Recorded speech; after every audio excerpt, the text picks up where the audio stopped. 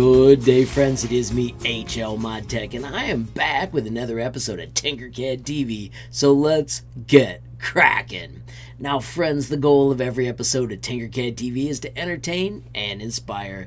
Today's design is really awesome, so let me show you what we got. Friends, today's designs come from Tinkercad designer Gotey or Michael. He is from Louisiana, and I got the coolest letter from him mentioning how he had followed a few tutorials and was starting to make his own epic stuff. So check this out. It is a spray table. It has several simple shapes. You can see there's a cone, cylinder, the cutout for the little wheel that goes right here, and there are notes. So first, let's note this base section where the wheels and axles slot into is then flipped over so that the cone sits as the base. This note right here is me writing back to Michael saying, hey, I think that is pretty fantastic. This is the top section of the spray table, and I'll show you a picture of this in a minute. It is upside down for printing purposes so that we don't need supports. Super smart choice. And then this is the roller wheel.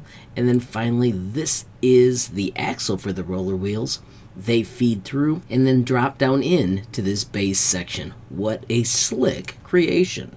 Real quickly, here you can see it printed, and one of my favorite parts about this was it's created for his wife. She makes custom tumblers, and this helps her display them and paint them. As we scroll down, check it out. Awesome storage containers. Keeping things organized for the craft projects. And a custom drip tray for the dog's kennel.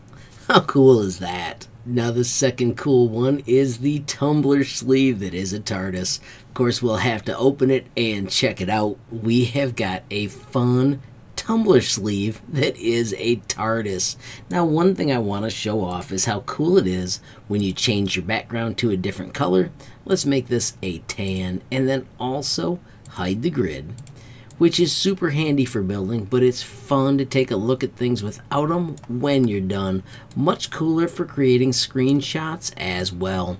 Now what I love about this is Michael used all kinds of basic shapes. There are rectangles everywhere. Of course there is a cylinder cut into it and it ends up being a sweet project just made with the basic skills that we start out using Tinkercad. Now Michael originally reached out with a note about how he was just starting in Tinkercad And noted how cool it was that he could get through just a few tutorials and then start to connect the dots on how to build his own amazing projects. Of course, that absolutely made my day, and I figured I'd take a moment to share his epic creations. And of course, here is a look at it 3D printed. What a fantastic job. Great work with the tolerances. So cool to see your project come to life. Nice work on the projects, Michael, and I hope you and your wife have fun exploring Tinkercad and 3D printing. Friends, remember if you ever create something awesome and want to share it with me, it is so darn easy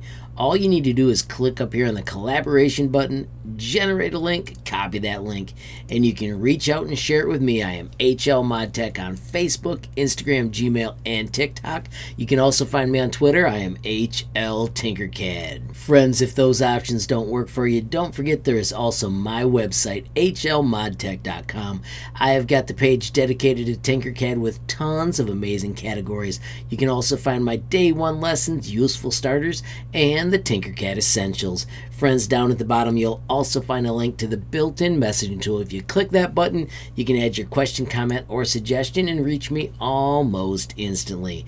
I do also want to highlight the Tinkercad Community Discord. Friends, as you can see, we've got more than 700 members, and it's a fantastic place to talk everything Tinkercad. Friends, I do also want to let you know that right under the Essentials is my Tinkercad profile. When you click that link, you will see all of my designs sorted by most recent.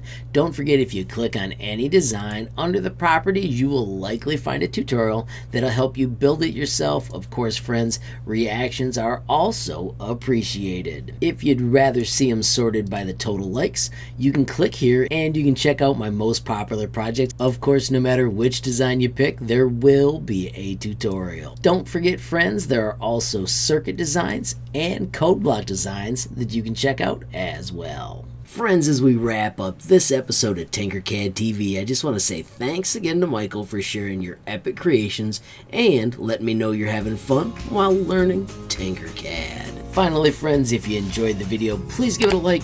Please also hit that share button so more people can learn about HL ModTech. Don't forget you absolutely make my day if you take time to leave a comment down below. And if you haven't subscribed yet, what are you waiting for? Smash that subscribe button. And last but not least, hit that notification bell if you want to be the first to know when there's a brand new video from me, HL Mod Tech. Thanks for watching. Have a great day.